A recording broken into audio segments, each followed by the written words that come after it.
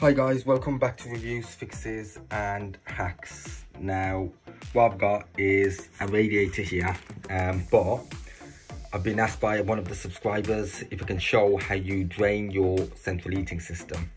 Now there's a, if you're working on just a boiler, um, again, I must stress, if you're not gas safe registered, please do not work on boilers. This is just for um, demonstration purposes and to give an idea so it's just to for learning purposes and that's it. But anyway basically somewhere in your system you should have um, a connection like this. And what I do is I tick, stick on a hose pipe. You can see I've got some PTFE tape there. Stick on a hose pipe take it outside outdoors and then using a span um, not a spanner using pliers I just turn this anti-clockwise. This will then drain your whole central heating system. To aid the process of removing all water, um, what I tend to do is go to each radiator and using um, one of those radiator keys, I loosen um, the bleed off valve.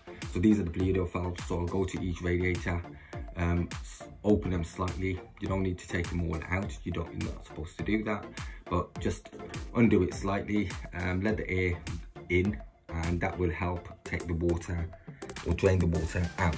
Once you've done that, just close this off, close all of these bleed off valves off, and then your system is drained. The only thing I would say is make sure um, it's advisable that once you finish doing whatever you need to do, or you know your gas safe registered person finishes what they need to do, um, then what they should do is take this off using a spanner, and you can actually you what you should do is put some um, inhibitor. So it's always advisable put some inhibitor in close that back off before you refill the system. But again once again the question i was asked is how can you drain your system? Well this is what you're looking for and it's usually on one of the lowest points on your property um, on your heating system.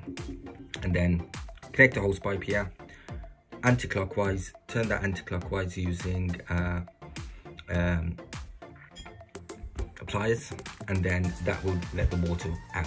And to aid the process using a radiator key bleed off key you just loosen these slightly go across the property just loosening them for all the radiators. Once the water's drained close these off close that off and then just remove your pipe and your system is drained. Anyway hope this helps. Thank you and please make sure you like and subscribe